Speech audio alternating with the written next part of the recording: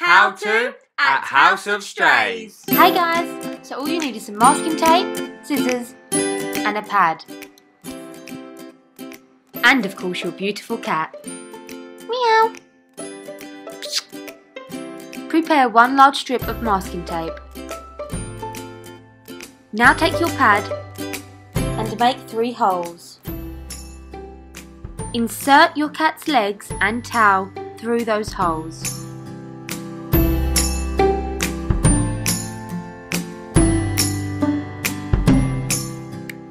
Be patient, it can be tricky, especially if this is your first time.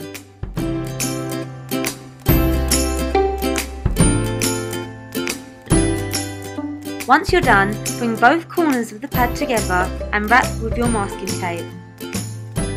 Making sure it's not too loose to fall off, but not too tight. Now take the bottom of your pad and fold it to the top and wrap masking tape around again. Making sure your cat is comfortable and the legs and tail isn't restricted. This is our way at House Strays to make homemade nappies for our paralysed cats. Have a perfect day